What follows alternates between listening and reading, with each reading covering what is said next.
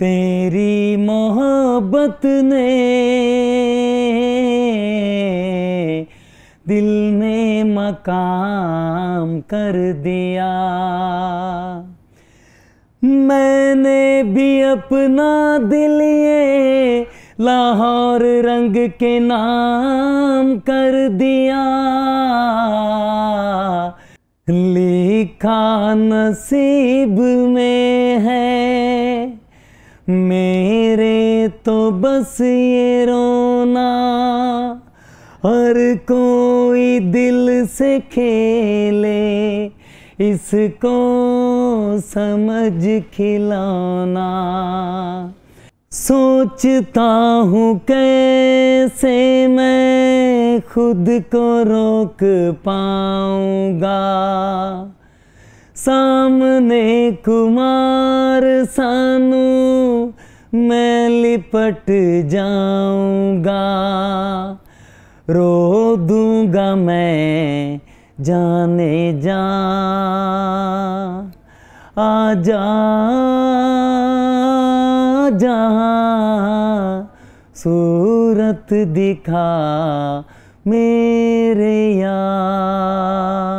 मौसीकी के हवाले से हमारे साथ मौजूद हैं सलीम सजाद साहब जो कि बेहतरीन सिंगर हैं और हमारे साथ स्टूडियो में मौजूद हैं। अस्सलाम वालेकुम। जी सर कैसे हैं आप? मैं ठीक अल्लाह सर बहुत शुक्रिया प्रोग्राम में आने के लिए फर्स्टली सेकेंडली कोई भी बात पूछने से पहले मैं आपसे गुजारिश करूँगी आप हमें कुछ सुना दें। जी बिल्कुल। तेरी मोहब्बत ने दिल में मकाम कर दिया। तेरी मोहब्बत ने दिल में मकाम कर दिया। मैंने भी अपना दिल ये लाहौर रंग के नाम कर दिया। तेरी मोहब्बत ने दिल में मकाम कर दिया। बहुत खूबसूरत और बहुत अच्छी आवाज़ है आपकी। अच्छा इस आवाज़ के बाद मैं आपसे कहना चाहूँगी कि हमने सुना था कि आपको कुमार सानू कहा जाता है पाकिस्तानी। जी। तो आपकी जो आवाज़ है बहुत उनसे सिमिलर है। आप उनके फ़ैन हैं रियाजत उस तरह से करते हैं। क्या सीन है? मैं रियाज वगैरह तो नहीं करता मुझे बचपन से गॉड गिफ्टेड है। गॉड गिफ्टेड है। मुझे बचपन से ही शौक था। अ, अभी तो खैर एक महीना डेढ़ हो गया है जब से ये मीडिया वालों के चक्कर में आया हूँ ना।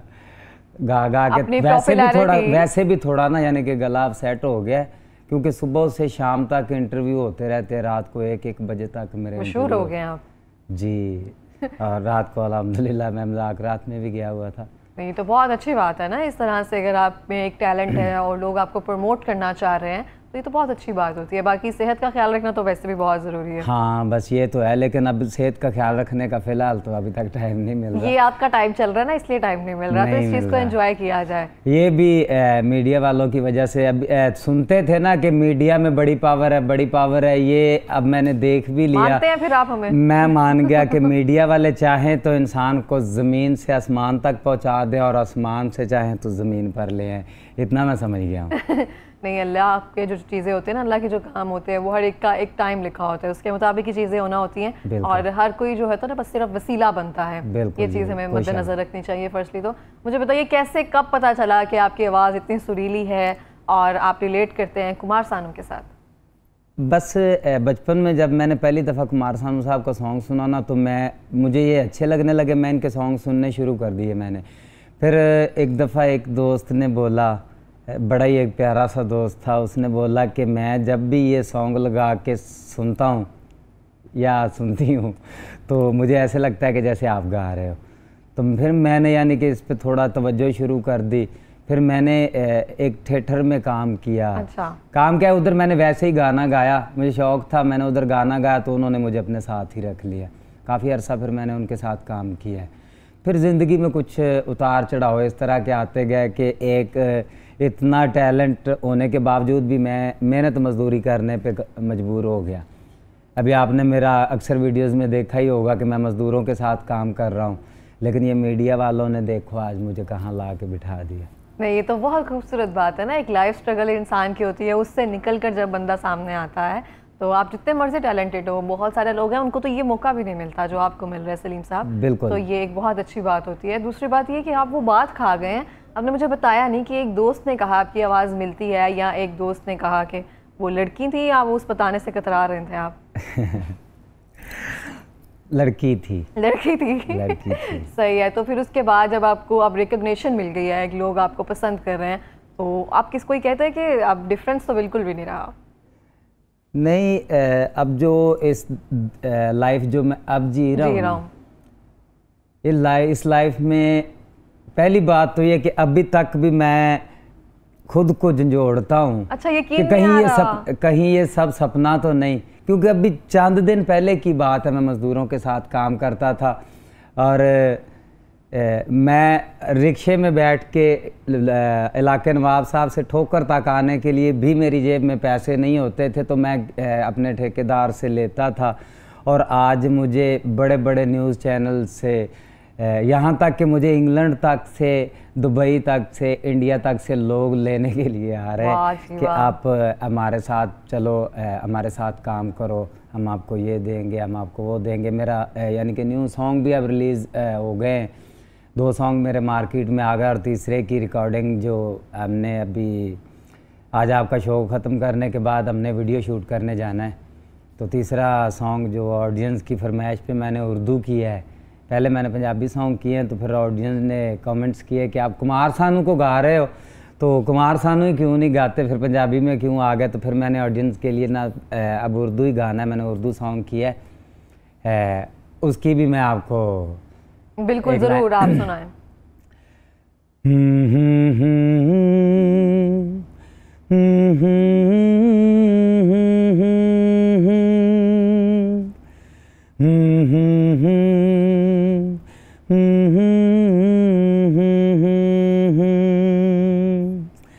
मैं बेवफा नहीं हूँ। कैसे तुझे बताऊँ, मैं बे वफा नहीं हूँ। कैसे तुझे बताऊँ, अफसाना बेबसी का, अफसाना बेबसी का, कैसे तुझे सुनाऊं। मैं बेवफा नहीं हूँ। कैसे तुझे बताऊँ? लिखा नसीब में है। मेरे तो बस ये रोना। हर कोई दिल से खेले, इसको समझ खिलौना। ये दाग बेवफाई मुझको समझ न आई, मुझको समझ न आई। मुझको समझ न आई मैं बेवफा नहीं हूँ। कैसे तुझे बताऊँ? मैं बेवफा नहीं हूँ। और एक बात मैं कहना चाहूँगा ऑडियंस से भी, और अगर वो भी सुन रही है तो उसे भी कि मुझे कि मुझे किसी ने बेवफाई का नाम दिया है। अच्छा। तो मैं सबसे यही पूछना चाहूँगा अगर मैं किसी के साथ बेवफाई करता हूँ किसी के साथ तो ऊपर वाला कभी मेरे मेरे साथ अच्छा नहीं करेगा। बिल्कुल ऐसे अगर मैं। किसी का दिल दुखाता हूँ तो। बेवफाई मेरे साथ हुई। अच्छा। घर से बेघर मैं हुआ। वो लड़की के पीछे। उसके पीछे। और आज देखें कि मैं कहाँ पहुँच गया। वो वहीं पे है। वो वहीं पे नहीं है रो रही है।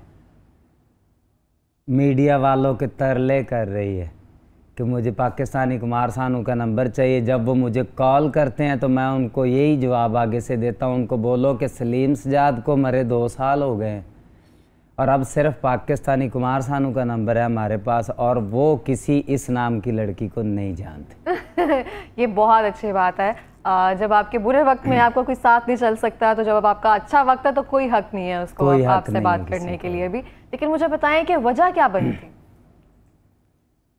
वजह कि जितनी मेहनत मैंने उस पर की उसको मैंने एक स्टार बना दिया। खुद को अपने अपने शौक को छोड़ दिया मैंने अपने शौक को मार अभी वो सोशल मीडिया पर इन हैं जो जिनकी बात कर रहे हैं आप? अब सोशल मीडिया पे तो क्या अब तो मेरे ख्याल में उसे कोई बड़ा मोबाइल भी नहीं रखने देता होगा क्योंकि अब वो दूसरे हाथों में चली गई अच्छा सही। तो अब तो उसे कोई मोबाइल भी नहीं रखने देगा। तो पहले वो सोशल मीडिया पे थी यानी कि वो मैंने एक सॉन्ग किया था तो मेरे साथ एक लड़की मॉडल जब आई तो कहती ये किस लिए आई? मैंने कहा ये मॉडलिंग के लिए। मेरे होते हुए तुम्हारे साथ कोई और लड़की? ना ना ना घर वालों से इजाज़त ले के खुद मेरे साथ उसने गाना शूट किया। उसके बाद फिर वो टिकटॉक पे भी आ गई। फिर उसकी सैलरी लग गई। जब अच्छी खासी अर्निंग होने लगी, तब वो घर वाले घर वालों को बड़ी प्यारी लगने लग गई और वो उसे ले गए। लेकिन उसे तो सोचना चाहिए था ना कि इसने मेरे लिए सब कुछ छोड़ा है। आज मैं अपनों के पास जा रही हूँ तो इसको किसके सहारे छोड़ के जा रही हूँ? मैं दो साल से मैं एक मौत से बदतर ज़िंदगी गुजार आगे लाने वाले उसको आप थे। जी। तो लास्ट पे क्या कह कर गई क्या कहकर छोड़ के गई? वैसे बस अपने पेरेंट्स के साथ गई है। उधर जाके मुझे कॉल किया कि अब मैं आपको ब्लॉक करने लगी हूँ। तो मैंने अब नहीं आना। मेरी आस मत लगाइएगा। सही तो दो साल फिर कैसे निकाले उसके बगैर? तीन चार माह तो मैं एक दरबार पे पढ़ा रहा हूँ। यानी कि खुद की होश भी नहीं थी ना खाने की ना पीने की ना नहाने की। तो कितने साल का इश्क था? इश्क मेरी वाइफ थी वो। वो मेरी वाइफ थी और मेरी तीसरी वाइफ थी वो। तो यानी कि शादी के तीन साल बाद जाके मुझे यानी कि उससे प्यार हुआ था। अच्छा। वो भी उसकी अच्छाइयाँ देख के हुआ था। मैं ये नहीं कहता कि उसने मेरे ए, मुझे इस बात की समझ नहीं आती कि उसने ऐसा क्यों किया क्योंकि एक वक्त वो भी था उसकी ए, उसने अपनी मम्मा को घर से निकाल दिया सिर्फ़ इस बात पे कि उसकी मामा को मैं अच्छा नहीं लगता था। उसने अपनी माँ को घर से निकाल माँ को घर से निकाल दिया। यहाँ तक कि उसकी मम्मा का ऑपरेशन हुआ था और टाँके भी अभी तक नहीं खुले थे लेकिन उस उसे घर से निकाल दिया और चार साल तक ना अपनी माँ से बात की ना वहाँ गई। तो फिर पूरी प्लानिंग के साथ जैसे कहते हैं उसकी माँ ने पहले मुझे पटाया। मुझसे बातचीत करती रही। उसके बाद फिर मैंने सुलह करवा दी। बस वो सुलह करवाई पाँव पे कुलाड़ी या कुलाड़ी पे पाँव समझ ले। तो ये गाना फिर आपने उसकी याद में लिखा है कि मैं बेवफा नहीं। आ, लेकिन अब वो उसके लिए यही पैगाम है कि अब मैं बेवफा हूँ। सही है। अब आप बेवफा हैं तो फिर चौथी की तैयारी है अब। नहीं अब मैंने शादी नहीं करनी। अब मैं अपने यानी कि कोशिश मेरी अभी तक यही है कि मैं अपने पहले बीवी बच्चों के पास जाऊँ अपने घर जाऊँ अपने गाँव जाऊँ। मुझे द, मैं दस साल से अपने घर से दूर हूँ। तो आपको मैं मुझे अच्छा नहीं लग रहा कहना लेकिन आपको ये नहीं लगता कि जो आपके पहले बीवी बच्चे हैं आप उनके साथ उस तरह से मतलब हक शरई हक तो है मर्द का ना लेकिन उनसे अगर आप ठीक से नहीं रह सके या उनको ठीक से नहीं रख सके तो उनकी वजह से तीसरा आपका ना बच सका हो। नहीं मैंने ए, कोई चोरी ए, कोई भी शादी मैंने नहीं की। सबकी मर्ज़ी से ही हुआ जो भी हुआ है। लेकिन अगर मेरे वो दूसरे बीवी बच्चे हैं वो सुन भी रहे हैं या कोई भी मेरे फैमिली में से सुन रहा है तो मैं ऑडियंस को भी ये बताना चाहूँगा कि आज यानी कि मैं अपनी फैमिली से दूर हूँ ना तो इसकी ज़िम्मेदार भी मेरे फैमिली के लोग ही हैं। सही है इस तरह से होता है। तो मुझे आप सलीम आप अपना जो इस फैमिली सिचुएशन या फिर जो भी आपके हालात है उसको देखते हुए कुमार सानू का कोई हमें गाना सुनाएँगे? जिसमें आपके जो अल्फाज है ना उसके अंदर अदायगी हो जाए सबके। फैमिली को देख के अपने जो भी हालात वाक़ हैं उसको मद्देनज़र रखते हुए कुमार सानू साहब का जो कोई गाना हो। या कोई भी जो आपको पसंद मैं कोई भी आपको सुना देता हूँ कोई भी क्योंकि ये ज़रा डिसाइड करने में थोड़ा टाइम लग जाएगा और हम इस वक्त लाइव बैठे सोचता हूँ कैसे मैं खुद को रोक पाऊँगा। सामने कुमार सानू मैं लिपट जाऊँगा। रो दूँगा मैं जाने जा। आ जा। जहाँ सूरत दिखा मेरे यार। बहुत दिन हुए हैं, देखे हुए तुझे यार। अब तो जैसा कि समझते हैं ना कि कोई इंसान की आखिरी ख्वाहिश होती है तो अब तो मेरी तो बस सिर्फ़ एक ही ख्वाहिश है कि मैंने अपने उस्ताद से मिलना है। और ये ऑडियंस चाहे तो ये हो सकता है। ये चाहें तो मुझे इतना वायरल कर सकते हैं कि मेरी मेरी ये ख्वाहिश कुमार सानू साहब तक पहुँचा सकते हैं कि उनका एक शागिर्द जो कि पाकिस्तान में 1990 से उनको शागिर्द मान के बैठा है, वो उनका इंतज़ार कर रहा है, उनका मुंतज़र है। कुमार सानू साहब तो एक ओजी टैलेंट जिसे ओल्ड जनरेशन कहते हैं ना हम 90s में उनके सॉन्ग्स एक तरह से सुनकर बड़े हुए हैं। मैंने और... उनके साथ ड्यूट सॉन्ग भी किया है स्टार मेकर पे कुमार सानू साहब के साथ। शायद अगर वो सुन भी रहे होंगे तो उन्हें याद होगा कि उन्होंने मेरी वीडियो उठा के बेस्ट ऑफ़ लक का कमेंट किया था मुझे। अच्छा वाह तो मैं वही हूँ लेकिन उस वक्त ज़रा मैं देखने में और था और अब देखने में और हूँ शायद ये मुझे पहचान नहीं सके होंगे लेकिन मैं वही हूँ। इन्होंने इनके साथ मैंने ड्यूट सॉन्ग किया था।